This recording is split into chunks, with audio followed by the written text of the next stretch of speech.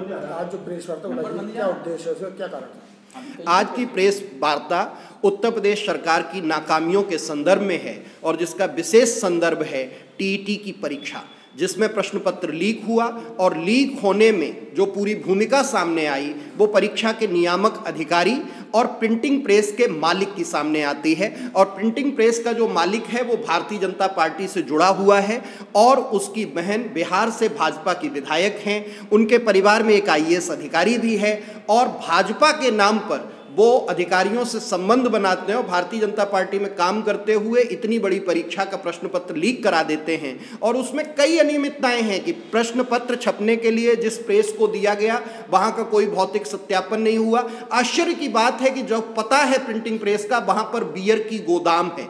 और कोई भी काम हुए बिना नियामक अधिकारी और प्रेस के मालिक की एक मीटिंग होती है और उसमें पूरी तरह से प्रश्न पत्र को आउट करने और उससे पैसा उगाने और कहीं ना कहीं ये साजिश भी सामने आ रही कि इसमें बड़े भाजपा के लोग शामिल हैं जिनको बचाने की कोशिश की जा रही है। और चुनाव से ठीक पहले पूरे प्रदेश में, हर ज़िले में उस प्रश्न पत्र का आउट होना और पचास हज़ार, साठ हज़ार में बड़ी संख्या पे बेचा जाना। तो इतना पैसा किस लिए इकट्ठा हुआ?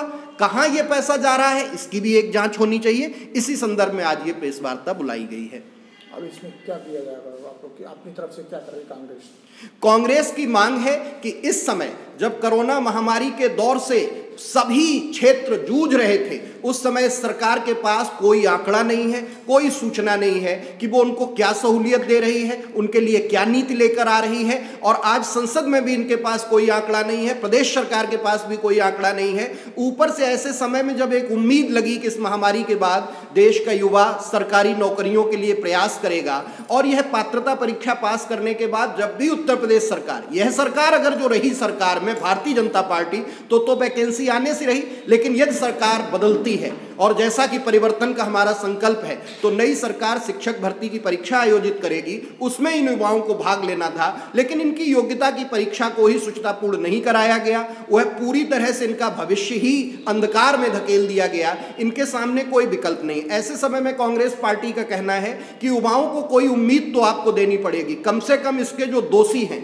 21 लाख विद्यार्थी परीक्षा दे रहे थे तो मैं आपसे बड़ी गंभीरता से कहना चाहता हूँ कि इसमें 21 लाख परिवार दो, पीड़ित पाए जाते हैं।